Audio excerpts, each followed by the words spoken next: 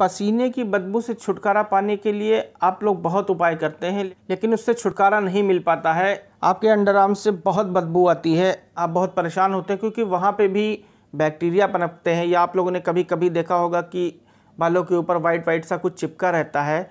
तो ये सारी समस्याएँ अगर आपको हैं तो आप लोग बहुत परेशान होते हैं। महँगे महँगे डीओ लगाते हैं, परफ्यूम लगाते हैं, पाउडर लगाते हैं, सब कुछ करके देख लेते हैं। उसके बाद भी आपके पसीने की बदबू नहीं जाती है।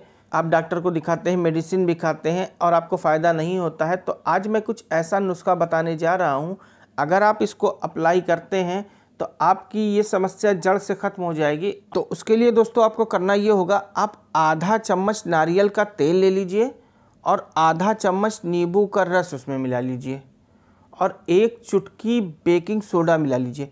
आप तीनों को खूब अच्छी तरह से मिला लीजिए। जब ये पूरी तरह से अच्छी तरह से मिल जाए तो आप इसको अपने अंडर आर्म्स पे लगाइए और 20 से 25 मिनट तक इसको लगा रहन दीजिए।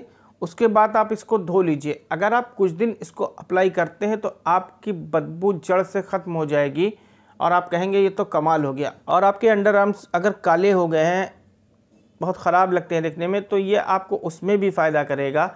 तो आपके पसीने की बदबू तो दूर होगी और आपको जो दूसरी समस्या है, आपको उसमें भी फ़ायदा मिलेगा।